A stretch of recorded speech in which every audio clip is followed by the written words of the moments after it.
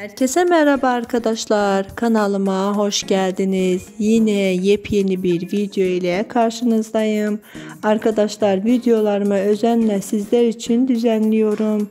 Umarım bu emeğimi karşılıksız bırakmazsınız. Öyleyse ben lafı hiç uzatmadan videomuza geçelim.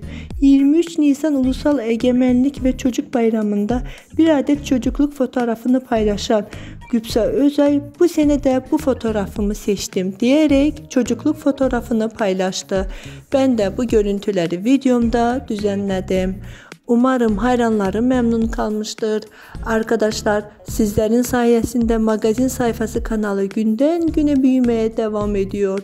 Buradan tüm magazin sayfası ailesini teşekkür ediyorum. Şimdilik benden bu kadar. Öyleyse bana destek olarak kanalıma abone olmayı ve bol bol yorum yapmayı unutmayın. Hoşça kalın, sağlıkla kalın ve Allah'a emanet kalın.